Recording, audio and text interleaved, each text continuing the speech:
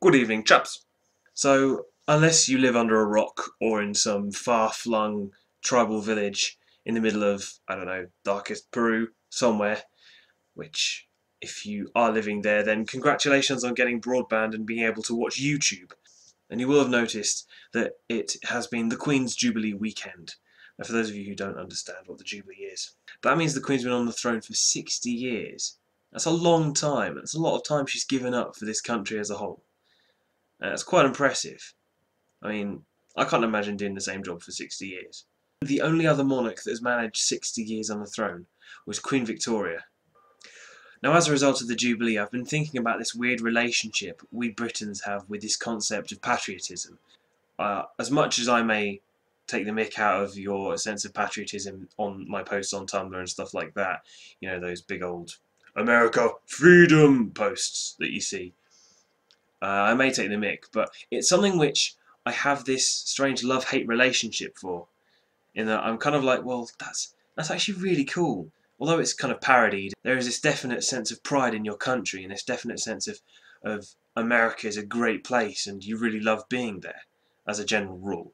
But over here, our sense of patriotism is, is a lot more understated and it's it really is a love-hate relationship and a love-hate situation whereby when there are big things happening like this Royal Jubilee, a lot of people come out and they're like, yes, Britain, I love being British and I do love being British. But we're less inclined to go over the top about it and less inclined to, to indulge it every single day of the year. But for a great deal of the time over this Jubilee weekend, I was walking around a fete uh, that we had near my house actually, wearing a Union Jack around my shoulders like a cape.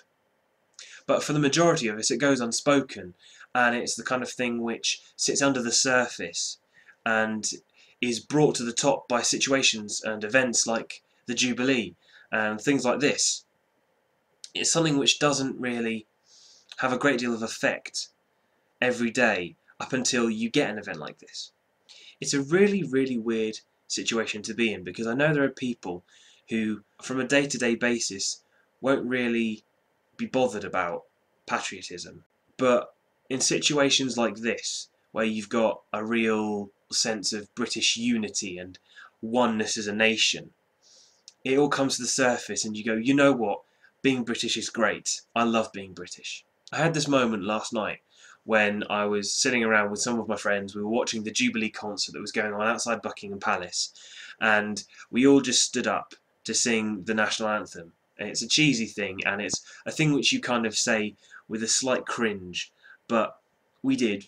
And I'm not one for great statements of patriotism, but and in that moment I did feel a real sense of pride at being British.